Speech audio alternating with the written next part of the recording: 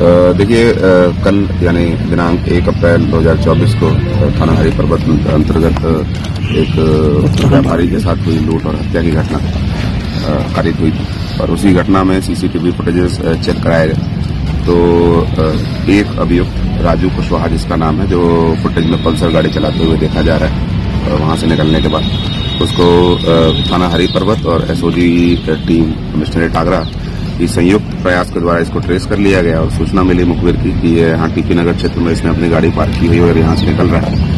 और इस अभियुक्त को राजू कुशवाहा को पुलिस मुठभेड़ में गिरफ़्तार किया गया है। पुलिस इसके दाहिने पैर में गोली लगी और इसको आवश्यक प्राथमिक उपचार के लिए एसएन मेडिकल कॉलेज भेजा गया है। इसके बाकी जो तीन अन्य साथी हैं उनको भी ट्रेस कर लिया, लिया गया है। बहुत जल्दी हमारी पुलिस टीम उनको गिरफ़्तार कर लेगी। इस अभियुक्त के पास से एक इलीगल वेपन एक खाली राउंड और इसकी जेब से एक लाइव राउंड भी बरामद हुआ है। इसके पास से जो घटना में प्रयुक्त मोटरसाइकिल पल्सर है, जो आप यहाँ देख रहे हैं, वो भी बरामद है और कुछ लूटी गई धनराशि और ज्वेलरी भी बरामद है। थाना हरि पर्वत पर आवश्यक कार्रवाई करते हुए अभियुक्त को मान्य न्यायालय के समक्ष प्रस्तुत किया गया